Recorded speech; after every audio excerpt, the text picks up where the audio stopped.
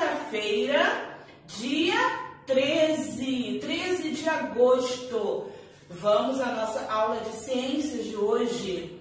Vamos falar sobre o som e a vibração da matéria.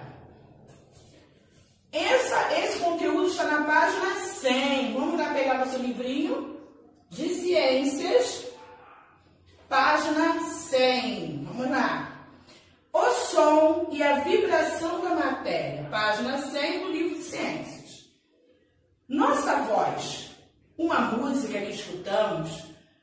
Smartphone e o barulho que uma moeda faz ao cair no chão.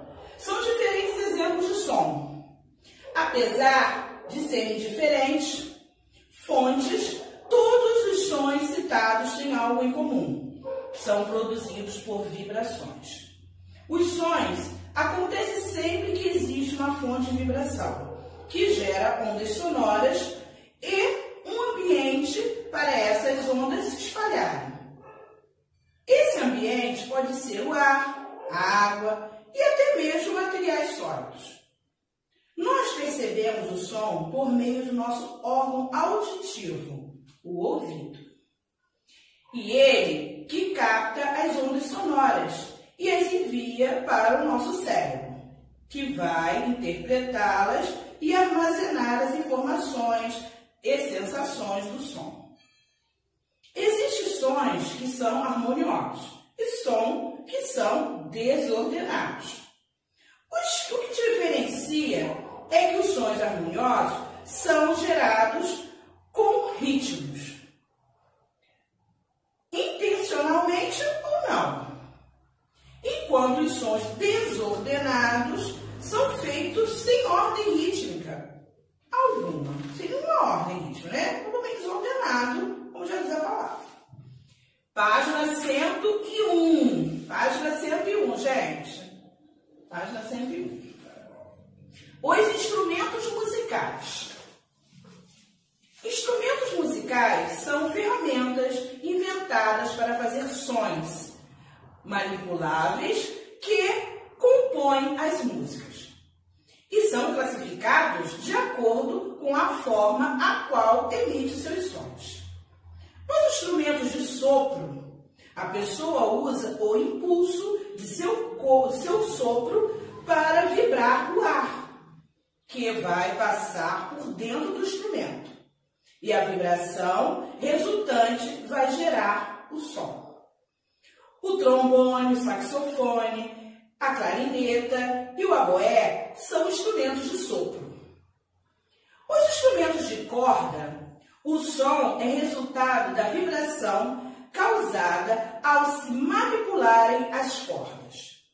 O violino, o berimbau, o violoncelo, a cítara são exemplos de instrumentos de corda. Nos instrumentos de percussão, Ó, vamos lá, presta atenção. Agora vamos falar sobre instrumentos de percussão. Som é resultado da vibração de uma membrana, como o tambor ou bumbo, ou pela vibração gerada pelo impacto de dois ou mais corpos, como é o caso do chocalho. Né? Então, ó, vários tipos de instrumentos. Então, nós falamos de instrumentos de sopro, instrumentos de cordas, falamos agora sobre o instrumento de, de percussão. Agora vamos ver aqui os instrumentos eletrônicos. São os que emitem sons, que são gerados eletricamente. O teclado eletrônico e o sintetizador são exemplos desse tipo de instrumento. Tá? Então, no total temos quantos tipos aqui de instrumentos? Quantos são? Os quatro, né? Nós falamos sobre instrumentos. Quais instrumentos musicais? De sopro, instrumentos de cordas, instrumentos de percussão, instrumentos eletrônicos, né? Vamos lá falar sobre a voz humana. Nossa voz é o resultado da vibração de membranas elásticas localizadas dentro do nosso pescoço, chamadas de pregas vocais. Elas vibram graças à passagem do ar que sai dos nossos pulmões. É por isso que não conseguimos falar direito quando estamos sem fôlego. Para produzir fala de formas diferentes, nossa língua, a cavidade bucal e os músculos do nosso tórax se movem. Nossa boca, nosso nariz e nosso tórax servem como amplificadores do som da nossa voz, como se fossem verdadeiras caixas de ressonância. E por isso que quando temos problemas respiratórios ou tapamos o nariz, nossa voz se modifica. Quando falamos ou produzimos algum som com a nossa boca, o ar é expelido por ela. Por isso que ficamos sem ar quando falamos sem parar. Tem gente que fala, né? Não consegue parar de falar. Tem que ficar sem ar de tanto que fala. Página 102, gente. Página 102. Os dos animais. Vários animais produzem sons diversos para finalidades diferentes. As aves, as aves, por exemplo, usam seu canto para atrair fêmeas de sua espécie, intimidar rivais e outros animais que invadem seu território e até mesmo para soar alertas contra predadores. Os sapos, as rãs e as pererecas macho usam seu coachar para atrair parceiros. Os grilos emitem seu cricrilar roçando as, as partes duras de suas asas uma contra as outras, como um reco-reco, no intuito de atrair parceiros. Mantendo a saúde auditiva.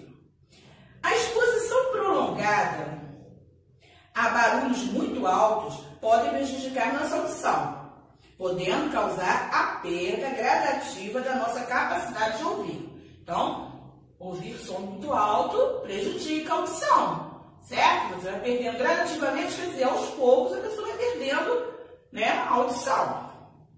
É importante proteger nossos ouvidos de sons altos, seja por pouco ou muito tempo pois quanto mais nós expomos aos sons altos, mais depressa gastamos nossa capacidade de ouvir. Às vezes, de forma irreversível. O pessoal pode até perder a audição de uma forma irreversível, quer dizer, não vai poder voltar a ouvir mais. A melhor forma de zelar pela, pela nossa audição é nos prevenindo Segue algumas medidas que vão nos ajudar a manter a saúde de nossos ouvidos. Quem se expõe aos ações como de cortadores de grama, aviões, máquinas de indústrias e sons deve usar sempre proteção nos ouvidos, como os protetores auriculares, por exemplo. Não, ó, não use fones de ouvidos ligados no volume máximo. A pessoa coloca o fone e põe um som muito alto. Isso prejudica a audição. Né? Então não pode colocar o fone muito alto. Como os fones estão diretamente ligados aos nossos ouvidos, o som que gera entra em contato direto com o nosso aparelho auditivo. Olha só, né? Sério.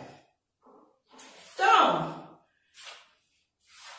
Dentro dessa, é, nós falamos aqui sobre o som e a vibração na matéria, nós vamos fazer a página 103 e 104. E a gente já passou aqui também a página 99, que é uma revisãozinha sobre a matéria da aula passada, energia. Tá? Então, no caso, para fazer, vai ser o quê? 99, 103 e 104. Tá?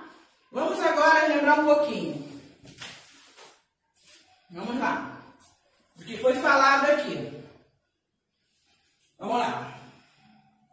É, primeiro, vamos ver aqui. Os, são, os sons são produzidos por quê, gente? São produzidos por quê? Pelas o quê?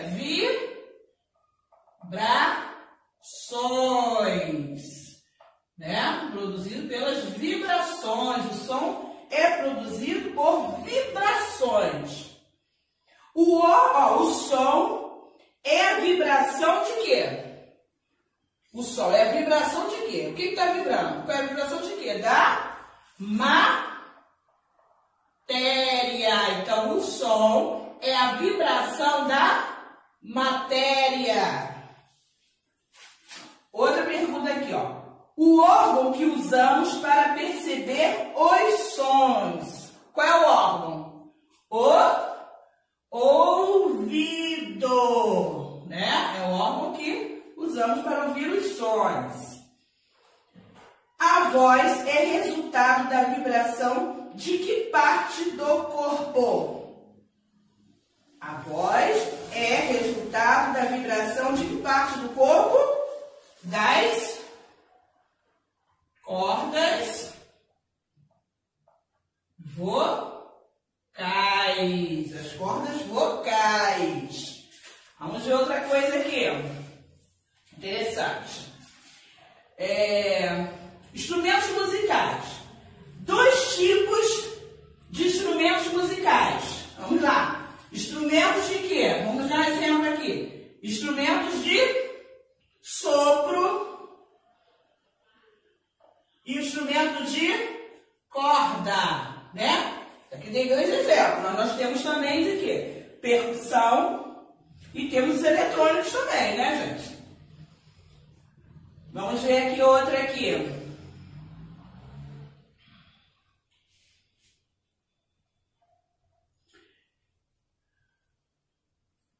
O que é importante aqui para se manter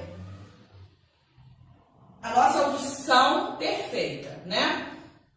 O que, que é bom para manter a audição né, perfeita? O que?